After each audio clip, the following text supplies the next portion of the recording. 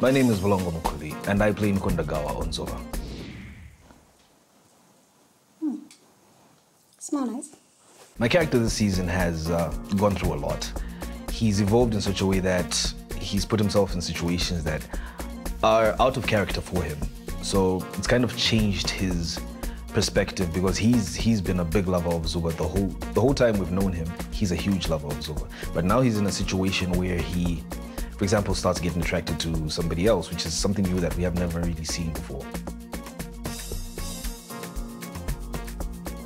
Well, from the ending of season six, fans can expect a lot more drama. There's uh, the ending is going to be it'll be something else. I'm, I'm sure a lot of people will be shocked.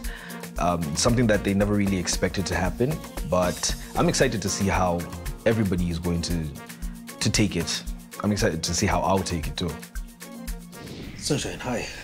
Am I disturbing you? What's up? I'm back.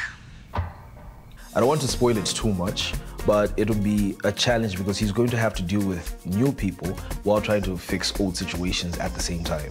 So I'm really excited to see that, and I'm excited to see how I'll portray it, and I hope I, I can actually nail it. Stop it. You're embarrassing me.